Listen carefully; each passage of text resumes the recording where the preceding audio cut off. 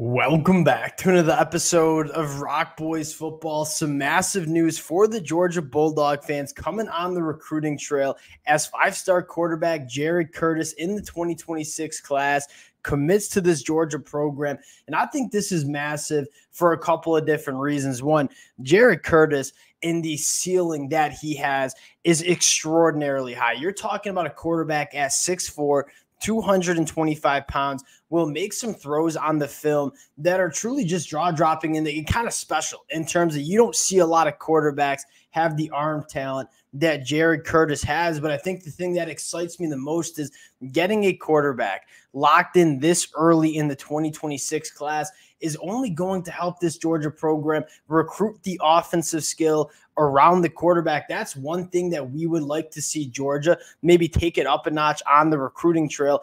These wide receivers want to make sure they're going into good offenses with quarterbacks that can get them the football. Jared Curtis locking in his commitment this early for Georgia is absolutely massive for what it's going to look like recruiting these wide receivers in that 2025, in that 2026 class. Want to dive into Jared Curtis, take a look at the film, talk about what he brings to this Georgia offense. Extremely excited to get into it. Before we do, and as always, just want to say thank you to you guys and a massive shout out to the Georgia Bulldog fans. It is no secret. We talk a lot about this program on the recruiting trail. That's what happens when you recruit the way Kirby Smart and this Georgia program do.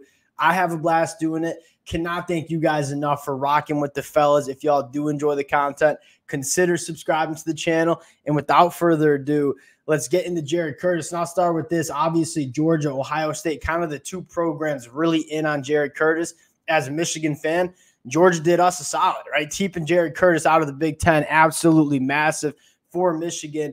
Now, getting into Jared Curtis, the thing that really stands out to me about Jared Curtis is the kind of the box checking ability that he has, right? When you start going through the checklist of what you want with top quarterbacks heading to the college football level, big body. He has a massive arm, especially when he's attacking the deeper third. But some of the intangibles that he possesses that we'll see on the film, that's kind of what makes Jared Curtis most special for me. This is a guy that when something is breaking down, he has the athleticism to extend plays, keep his eyes down the field. And if nothing's there, he is a guy that is certainly athletic enough to make it happen with his own legs. 6'4, 225 with athleticism like he has. He is a load for high schoolers to bring down. And then probably my favorite aspect of Jared Curtis is the ability to throw off platform, right? And you're seeing that become a very important aspect of playing the quarterback position. I mean, this is a, a college landscape where you're trying to get players out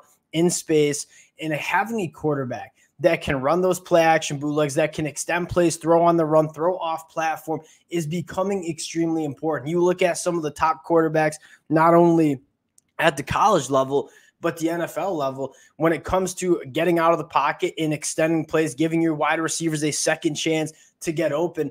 That's very important. And when you have the ability to throw off platform on time and accurately to your wide receivers, that's massive. And Jared Curtis certainly has that ability. Now, turning on the film, you'll kind of see just kind of what we're talking about in terms of special arm talent. The first play you see here, just kind of showing off the, the howitzer that he has. He is effortlessly throwing this football 60 plus yards down the field on a dime. He has arm talent and arm strength that are extremely rare for a guy that again this is we're taking a look at the sophomore year highlights here that's how how impressive he is so early on in the developmental arc now second play you see probably the most impressive throw you'll see on the film where i mean you're throwing off platform you're rolling out you got to throw this ball with touch and accuracy right on the back shoulder one spot where your wide receiver can make a play on it. Jared Curtis certainly doing that. And then you see the ball handling. You see the ability to make something happen when things are breaking down, the athleticism to make it happen yourself. And again, you're talking about someone who's 6'4, 225 pounds. He's a load to bring down when extending those plays. Again, off platform, pushing the ball down the field, extremely impressive. He can layer it in there, he can rope it in there. I think the amount of different ways Jared Curtis can make things happen with his arm.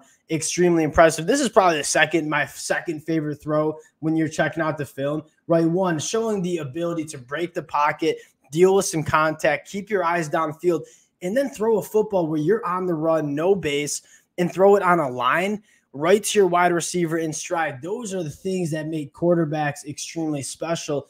Jared Curtis just exemplifies all of those kind of things. And again, when he is attacking the deeper third, he is putting it right right where you kind of need it to be, right finding that honey hole. Extremely impressive attacking that deeper third, pushing the ball down the field. You see him layer it in there sometimes. You'll see him zip it in there sometimes.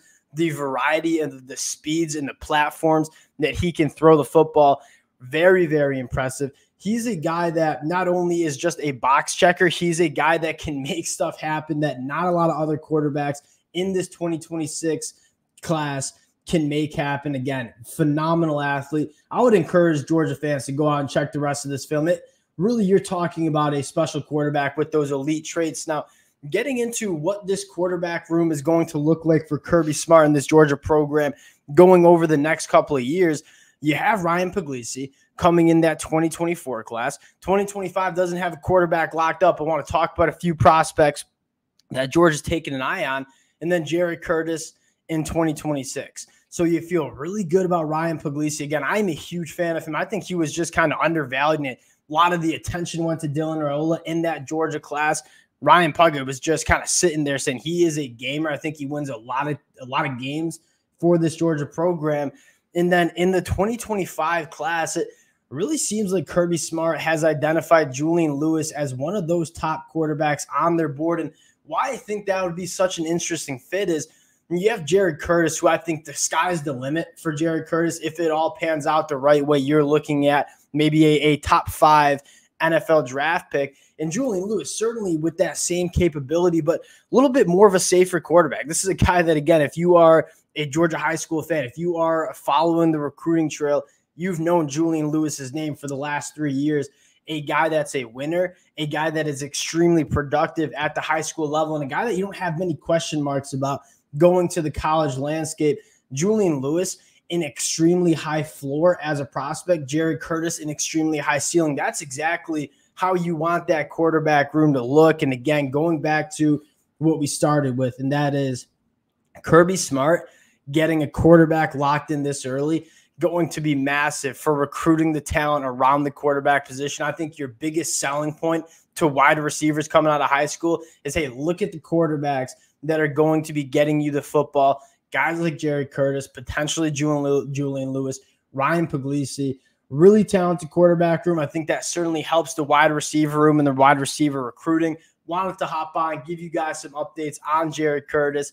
Appreciate y'all rocking with the fellas again. If y'all do enjoy the content, consider subscribing to the channel, and we'll talk to y'all later.